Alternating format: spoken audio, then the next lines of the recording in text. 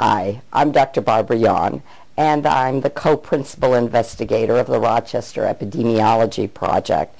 And I'm going to take just a second to tell you about that, and then we're going to talk about this study, which is the age and sex pattern of drug prescribing in Olmsted County. But the REP, or Rochester Epidemiology Project, is a project that's been around for over 40 years. We gather all of the information for the diagnosis and frequency of visits and of course all the demographics of people who have been seen in any of the healthcare facilities in Olmsted County. Recently we've added the prescription drugs and that's what this paper is all about taking advantage of that new knowledge uh, because it's exciting to see on a population basis what medications are being used. The first thing we found out is, as you would expect, medications are quite common. 70% of the population, and this is from birth to death, had a prescription of one particular class of medication at least in a year. So 70% of all individuals. 50% of people had prescriptions in two or more classes, and it went down then to 30% in three and on down, as you can imagine. Now, the age and the sex distribution, of course, are also very interesting. Some of them are exactly as you would expect. The antibiotics and the vaccines and toxoids are most common in young children up to the age of about 15. And that's what most of us expect because they have mainly acute illnesses, acute infections, and they have lots of vaccinations that they need to receive. Between the ages of about 18 and 40, the prescriptions were primarily uh, for medications in the antidepressant area and the anti-lipemics, and then followed later, and of course only in women, for the uh, anti-pregnancy drugs, as you can expect, the contraceptives. But those were less common than you might have expected. As we get on to the older adults, then we of course go on with the anti-lipemics, the cardiovascular, the hypertensive, which is part of cardiovascular. Again, shows up the vaccines and the toxoids a little bit, but they aren't one of the top two or three.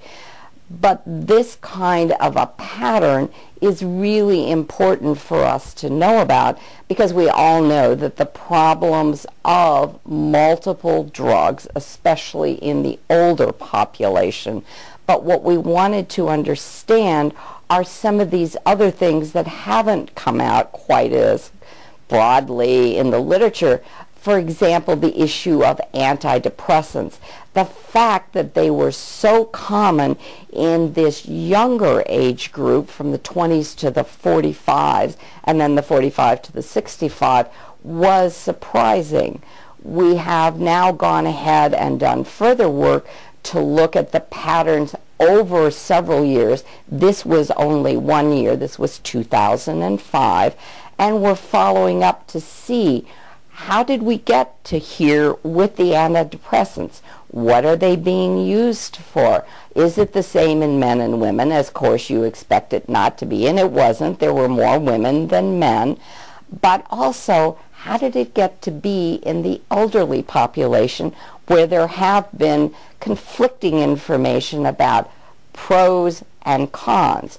So we found what you expect to find, which is the antibiotics, which we still may be overprescribing in the younger children. Uh, the vaccines, which is great. We want them to get their vaccines. Then these antidepressants, which we need to know a lot more about. And then, of course, the cardiovascular drugs that we anticipate as people get older. We also now have a basis for starting to look at potential drug interactions.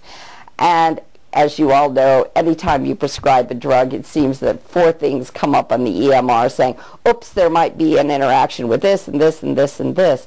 But because we have this data, we can not only look at what those interactions might be, but we can go ahead and look at the outcomes in the real medical records. And that's one of the advantages of the Rochester Epidemiology Project. Thank you for listening, and I hope this helps you think a little bit when you prescribe your next medications. We hope you benefited from this presentation based on the content of Mayo Clinic proceedings. Our journal's mission is to promote the best interests of patients by advancing the knowledge and professionalism of the physician community. If you're interested in more information about Mayo Clinic proceedings, visit our website at www.mayoclinicproceedings.org. There you will find additional videos on our YouTube channel, and you can follow us on Twitter. For more information on healthcare at Mayo Clinic, please visit www.mayoclinic.org. This video content is copyrighted by Mayo Foundation for Medical Education and Research.